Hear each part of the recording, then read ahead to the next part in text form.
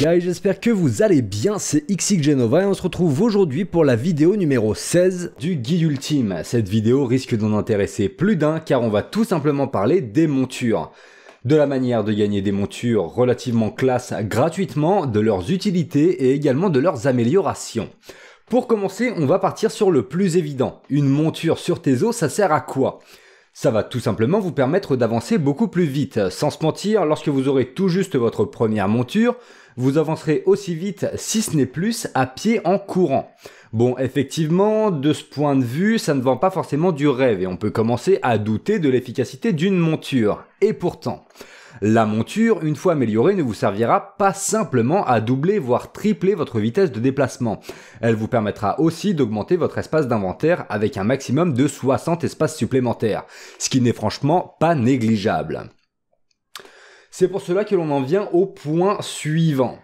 Améliorer sa monture et que privilégier alors, pour améliorer les stats de sa monture, c'est simple. On se rend à l'écurie la plus proche et on parle tout simplement au maître d'écurie. Il vous proposera trois statistiques à améliorer. La vitesse, la vigueur, le capacité de port. La vitesse, comme son nom l'indique, vous permettra d'augmenter la vitesse de votre monture. La capacité de port vous permettra d'augmenter l'espace d'inventaire de votre personnage. Et la vigueur vous permettra de sprinter plus longtemps sur votre monture. Et également de subir plus de coups avant de tomber de celle-ci il est possible de mettre un point par jour dans l'un des trois caractéristiques, et un point vous coûtera 250 pièces d'or. Donc bon, ça va, c'est clairement pas la mort non plus.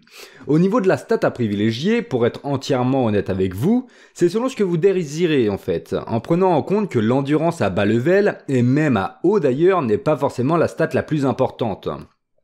Hormis à la rigueur, peut-être en PVP où elle peut être assez utile. Sinon, on s'en tamponne un petit peu.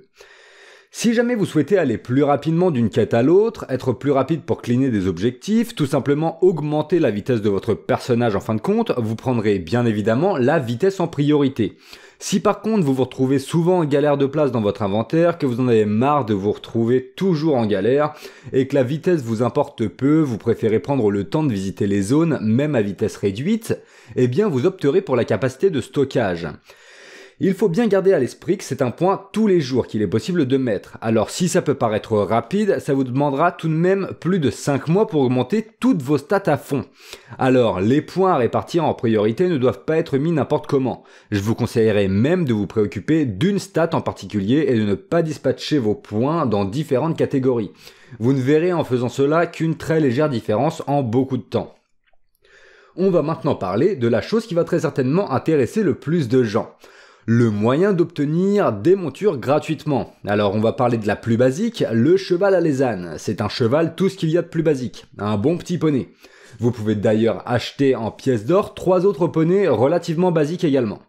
Votre premier fidèle destrier s'obtiendra simplement en atteignant le niveau 10 sur, sur votre personnage. Avant de continuer, il est important de mettre un point sur le fait qu'une monture soit liée à votre compte et non à votre personnage. Si vous achetez une monture ou en gagnez une, vous pourrez l'utiliser sur tous vos personnages. D'ailleurs, pour ce faire, rien de plus simple. Vous avez juste à vous diriger dans votre collection et à sélectionner votre monture. Ensuite, vous pourrez commencer à la chevaucher tranquillement. Allez, on reprend sur les montures gratuites à gagner avec cette fois-ci des montures bien plus classes. On enchaîne sur le lion sange de champion de Solence.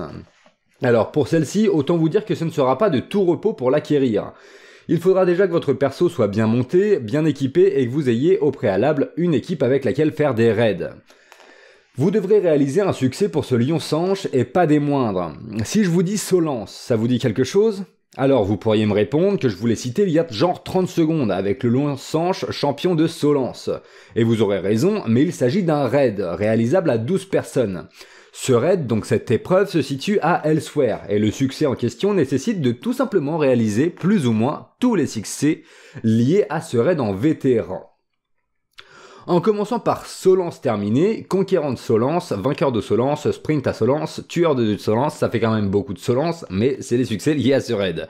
Tueur de Sanchrat, tueur lié au dragon, frappé tant que le fer est chaud, plus rapide que l'éclair, restez synchro. Alors, ce sont un enchaînement de succès qui vont d'un speedrun à du no-die, du hard mode sur le boss de fin à bien d'autres. C'est un raid qui, à bas niveau, est relativement compliqué, alors accrochez-vous. Et maintenant vient le tour du Ludweimer d'Ebonite. Pour celui-ci, vous n'aurez besoin que d'une chose, de la patience et de la persévérance. Ce magnifique loup s'obtient via le système d'antiquité, débloqué avec l'extension Greymoor. Si vous ne disposez pas de cette extension, il vous est impossible d'utiliser le système d'antiquité. Si vous ne connaissez pas ce nouveau système, je vous invite à aller voir ma vidéo sur le système d'antiquité, qui sera d'ailleurs présente dans la description. Alors, maintenant que ceci est dit, comment la débloquer via les fouilles? Avant toute chose, il faut que vous sachiez que vous aurez besoin de 17 pistes pour ce magnifique loup.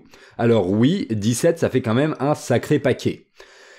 Les pistes iront de la difficulté intermédiaire, donc bleu, à avancée violet, et même maître, donc gold. Donc vous aurez forcément besoin d'XP un minimum votre sondage et observation pour pouvoir réaliser l'intégralité des pistes. Si cela vous dit, je pourrais vous faire une vidéo spéciale pour vous expliquer en détail où trouver toutes les pistes avant d'obtenir ce superbe loup. J'attends vos commentaires pour savoir si cela vous intéresse. Pour la dernière monture, et en réalité les dernières montures, car il est possible d'en avoir un bon paquet, on va parler des majestueux et splendides Indrik. Oui, on parle bien des mégacerfs super classe. Alors pour le coup, on a vu le sange qui reste relativement galère à obtenir, les chevaux qui sont relativement basiques, le loup avec lequel il faudra s'armer de patience. Pour celui-ci, vous n'aurez en fin de compte qu'à participer aux événements de The Elder Scrolls Online pour finir par obtenir votre Indrik. Donc non, on ne les gagne pas directement lors de l'événement, mais on va gagner par contre quelque chose qui va nous permettre de l'acquérir. Lorsque les events sont présents en jeu, il faut y participer. Pour vous citer un exemple, lors de l'événement de célébration des Indomptables, vous n'avez juste qu'à faire votre petit donjon aléatoire pour obtenir des tickets d'événement. Donc 3 tickets d'événement par jour. En l'espace de 4 jours, on peut avoir 12 tickets. Et figurez-vous qu'avec 10 tickets, il est possible d'acheter quelque chose de très cool. Une plume d'Indrik, et ce auprès de l'impresario, qui sont généralement situés dans les premières villes, donc Get Vulkel à Get Daven, etc. Alors, donc, tout simplement, ah oui, il faut tout de même savoir que vous ne pouvez stocker qu'un maximum de 12 tickets. Si vous ne les utilisez pas et que vous êtes censé gagner d'autres tickets, ils seront perdus. Faites bien attention à les utiliser avant d'être full. Donc, une plume d'Indrik, c'est cool, mais à quoi ça sert? Eh bien, au bout de 4 plumes, donc les 4 plumes différentes de l'Indrik, vous pourrez invoquer l'Indrik naissant, qui est lui-même très chouette d'ailleurs. Donc pour récapituler et être complètement clair, vous n'êtes pas obligé de faire des donjons pour gagner des tickets d'événement. Hein. C'est suivant l'event en fait. Vous avez juste à participer à l'event en cours pour gagner ces fameux tickets. Donc vous avez votre petit cerf de l'enfer, c'est cool, mais attention, ce n'est pas terminé les potes, parce que vous pourrez le faire évoluer d'une manière relativement identique d'ailleurs pour l'obtention de l'Indrik naissant, tout simplement en obtenant des tickets d'événement et en les dépensant auprès de l'impresario afin d'acheter des baies d'Indrik. C'est même B qu'il vous faudra au nombre de 4 afin de débloquer l'évolution de votre Indrik. En règle générale, il y a plus ou moins une évolution d'Indrik par trimestre, donc ça fait un paquet d'Indrik et un paquet d'événements à farmer. Vous ne serez pas limité à un seul Indrik. Si vous les voulez tous, c'est complètement possible. Il faudra simplement au préalable racheter des plumes d'Indrik lorsque vous avez déjà fait évoluer le premier. Les fameuses baies d'Indrik pendant le trimestre arriveront les unes après les autres. À la suite des événements, au dernier événement, il y aura 4 baies chez l'impresario. J'espère en tout cas avoir été assez clair en ce qui concerne l'Indrik. Pour faire un petit point sur les montures gratuites, il sera possible d'en avoir tout un tas finalement de différentes manières. Il y a de temps en temps des montures gratuites dans les récompenses journalières par exemple, donc restez à l'affût.